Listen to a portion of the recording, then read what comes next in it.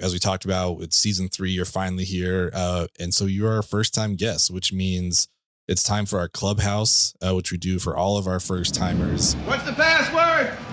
New England clam chowder. Is that the red or the white? I can never remember that. White?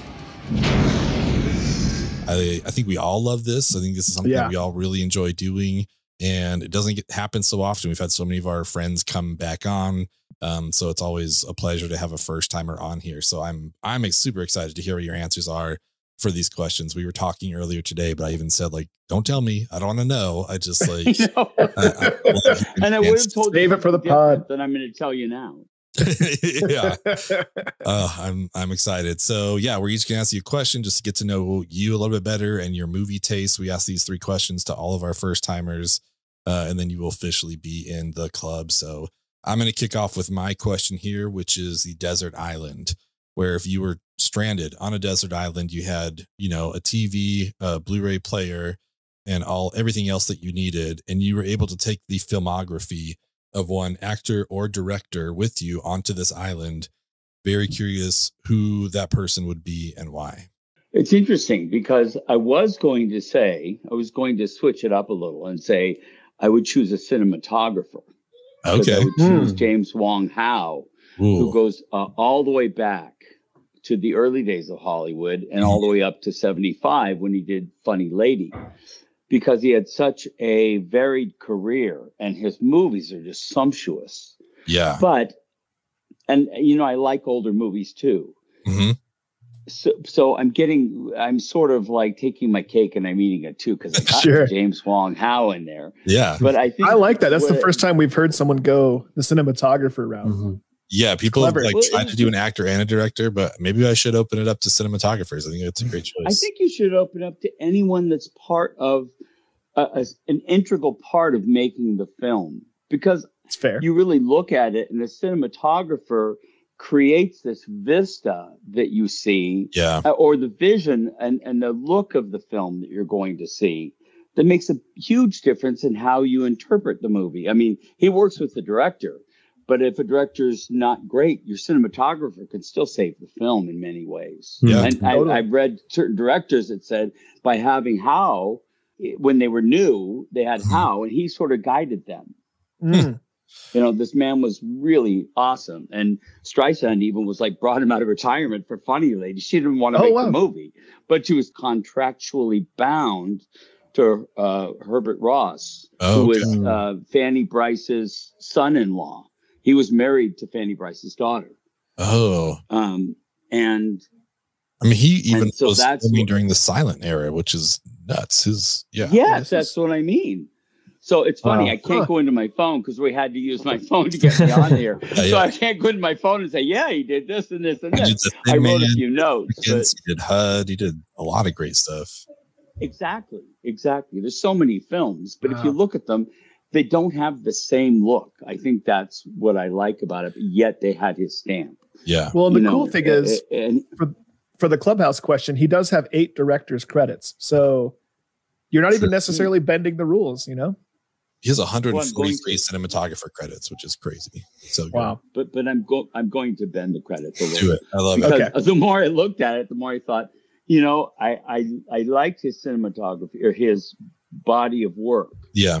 but I don't think it's what I would want to be bound to if I was stuck on a. Um, and that would be, I think, who I would pick would be Spielberg Mm. because I like the intelligence in his films. You know, I you could it. be rollicking and fun, and he's not always made great movies. I mean, you can look at 1941 or Kingdom of the Crystal Skull. I mean, there were some movies in there that are really okay. What was he Stay tuned for Kingdom of the Crystal Skull.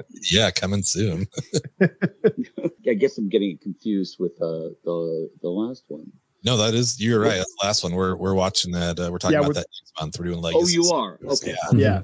Yeah. Yeah, because I remember all the the building up to that movie. It was like, oh my god, the second coming of uh, you know Indiana Jones, and then this movie came out, and it was like, oh, okay. Okay. you know? Not But quite anyway. the Spielberg classic like Ready Player One, right? One he's But known. that's another thing. It's when he made Ready Player One. Here we, if you read the book, which was brilliant, Yeah, it was filled with Spielberg movies, and he refused to put in all his movies. He put in one little reference to one of his films, and yet the book was filled with Spielberg movies. I know. It's such a bummer. and, and I was watching that, and I was somewhat disappointed.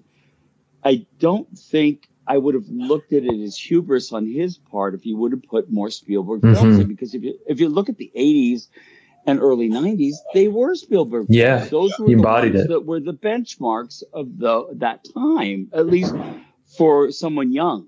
hmm You know, Without a doubt. uh, e- E.T. was, I, I remember going to the movies with your mom to see E.T. We didn't really know what we were going to see because it was really early in the run. Yeah. Yeah. But we walked out of there just going, oh my God, this was just, you know, we were touched, we were crying, we had goosebumps, but we knew we'd seen something incredibly special. One thing that's interesting about Spielberg about Spielberg to me is like he has such an impressive body of work and everything. You know, despite what you said about like Kingdom of the Crystal Skull or even Ready Player One or, or any of those types of movies, like he's so consistently good that I almost overlook him. He almost like Mhm. becomes an afterthought because it's like he set the bar so high for himself that it it's just sort of when I think of great directors, for whatever reason, I never think of Spielberg. And I don't know why that is. I think it's just because it's such a given that he's so great. It's, I don't, I don't, I don't Yeah. know exactly why I feel that way. But when you think, when I think of good, like all time directors, I, for whatever reason, never think of Spielberg. And I, I don't know why. I think it's just because it's like the silent H, you know what I mean? Like it goes without saying almost. Mhm. Well, do you overlook him or do you take him for granted that he's always there? Uh, I think maybe I take him for granted. Yeah. I don't mean that in a bad way. No, And I no, mean, for it's sure. just that you assume he's always in that, you know, thingy. He's Right. in that category. Yeah. Yeah, it was You know, kind of crazy. um, Like I mean, when he did that West Side Story remake, which also stay tuned. Brilliant. Covering next summer. I still haven't seen it, but I was just like, man, that's a ballsy move to take on such a classic. But also, it's like, who better to take it on? You know, Right. than Spielberg. You so haven't seen it? I have it, and now I'm I'm waiting because you know a sneak peek, you know, down the road. But we might be talking about remakes. So Can you Uh, I guys think that talk might to him be- about that and let him know that he can see a movie twice? I, I, you know, We've been trying to tell tried. him. I want I've to, I want to truly tried. I mean, you know, Your father gives you permission him- then. Yeah. Yeah. I give you permission to see it twice. and I think that's a good movie to see twice because I, I don't mean to get off track here, but that was a movie that I went in expecting to see a really good movie. And I saw a movie that was better than the original in many ways, that moved me deeper than I f- at all expected. It was Well, if- if anyone had any doubts that I was my father's child, uh, Spielberg was also my pick for the desert island person. So was it really? It really was. I yeah. didn't know that. I forgot all about that. I honest to God did forgot all about that. No, I believe you. But I was also- yeah, he's the perfect mix of quantity and quality in my eyes. You know, he's got Exactly. everything. Yeah, Because he's it got. Amblin too. If if you look at his movies he's produced, he's got he's Oh, got yeah. Amblin to pick from. Yeah. Mhm. So you know? stuff.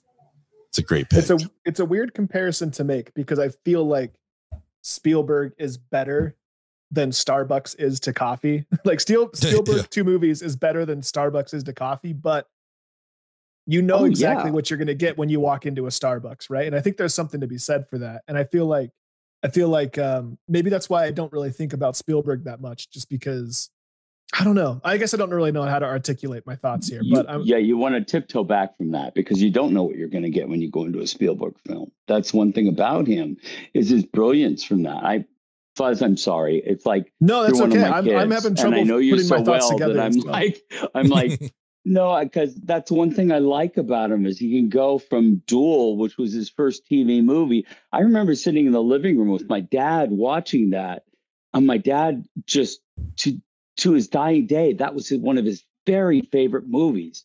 And my Nice. dad, you know, I won't tell you because maybe this is family friendly. I won't tell you what my dad said at the end of that movie, but he just turned to me and he said, That is one of the most amazing movies I've ever seen. And it was on TV. He couldn't get over that it was on TV because it was so suspenseful. Mhm. Yeah. And I mean, I, I of course was like this, but and you know, Dennis Weaver was one of his favorite actors, and I I thought that man was amazing. But just what he what he was able to wring out of yeah. the tension in that, it was just. a- Anyway, I, I I don't mean to admonish you at all, but that's the thing I like no, I about mean, Spielberg because he can go from something like that to something like West Side Story to you know he he gets to the soul of what the point is of the movie, and Mhm. it could be anywhere from comedy to drama to you know, and, and I like that about him. Yeah, Yeah. I think what you said earlier, I think maybe I do just take it for granted, right? It's like, ah, Spielberg's over here doing incredible stuff. Like, and, for me personally, I'm on sort of like uh, an exploration, right? That's what this whole podcast is about. So I'm Mhm. discovering new uh, filmmakers like Akira Kurosawa and and and and people Oh, like that. So I feel like I'm like, oh, these are the masters. Meanwhile, Spielberg's over here just cranking out the hits for years and years and years, and it's always so good. And I think that's probably what it is. Um, it's like I I, think I- feel like it's almost hard to comprehend that he like created the summer blockbuster. You know, with Jaws, Right. like it's like a weird thing to even like. Totally. we like we've. I mean, three of us have grown up with them. You know, it's like it's the summer Right. blockbuster, but it's just like, but that wasn't a thing always. You know, and now it's just like Right. it's weird to like. How do you give someone credit for that? It's like, well, no, that's just always been around. Like it hasn't, but it is now, and that's Yeah. he's responsible for that. But it It's wasn't before Jaws. Yeah. Yeah, it's amazing. God, Well, I speaking remember of sitting Jaws- in the movie Oh, go ahead. theater. Yeah, Oh. go ahead. No, I just Well, no, remember I think sitting in that- the movie theater watching Jaws, and my dad used to tell me a story about going with my uncle to see Psycho Mm. and how um and this guy was a big badass guy that nothing got to him. He owned a car lot and had, you know, Dobermans that watching the yard, yard at night and nothing got to this guy. Nice. my, my uncle Mondo. And they went to see at the drive-in to see Psycho. And he, my dad tells it that when the shower scene came on, Mondo jumped and popcorn went everywhere. The soda went all in the dashboard of the oh, car Oh, they were driving. He said, but I was sitting next to my dad when we saw when we saw Jaws. The first scene when the Jaws jumps onto the boat. It's the second time you really see the shark, but it's when he goes to the boat. I was wearing the drink. My dad's popcorn was everywhere. and he's like, "Oh my god!" You know, it, was like, it was like I said, "Okay, Mondo, you done?" yeah, I so. well that's a that's a beautiful segue into my question um those those moments watching movies are i think it's why we all like to watch movies right you know we're, we're hoping for that next moment that makes you spill your popcorn all over mondo Mhm. so Yeah. i want to know if you could go back and relive a movie or even just a moment from a movie doesn't really matter doesn't have to be that specific uh, and you could do it again for the very first time what what would you do You know, um, I'm yeah, I'm sorry I'm being so long-winded. I thought No, about it's great. And this was a movie that it's a movie, and it's also a scene in the movie. I'm I'm a big sap when it comes to film. I love Yeah. I you know, it, it's and the movie is an affair to remember. The one with Oh. Deborah Kerr and Cary Grant. Okay, yeah. and it's Ben's mom's favorite movie. I had never seen it. And you know, when we she and I got together back in the 80s, they didn't have where you could rent movies and all that stuff. But you know, Right. they had VCRs, but I think we rent I don't know if we could rent the tape. I don't remember, but she said, You gotta see this. And it was on TV one night and we were Hmm. watching it.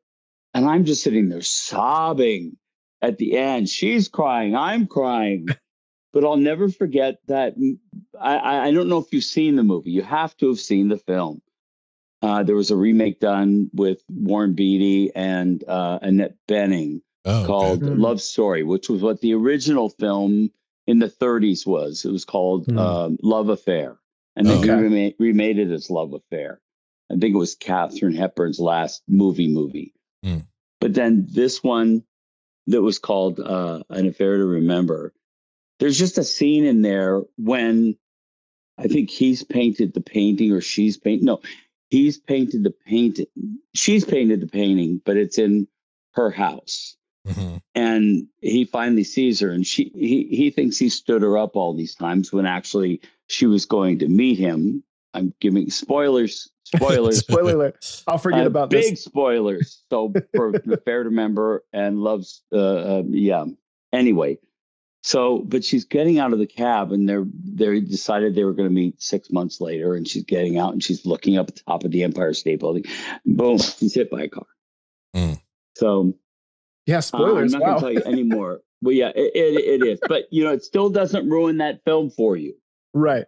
Yeah. See the. I still want to check it out. That's a but the, It comes the highly recommended. Scene, the last scene with the two of them, the way it's done, when he the pieces fit together for him finally, mm, Nice. it's masterfully done.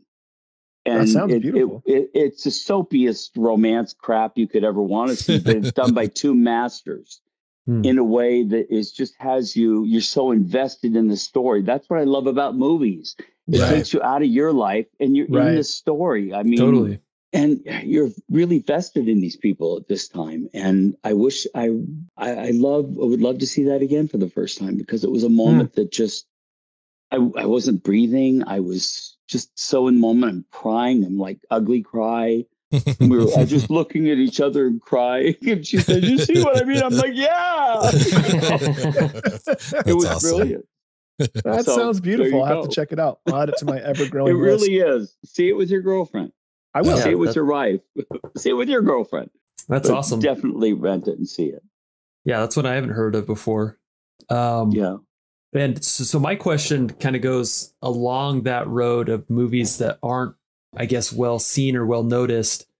Every single person has at least one movie that they Mhm. personally love and that they would share with the world, but they feel the world sort of underappreciates or just doesn't understand this movie the way that, you know, the way that we do.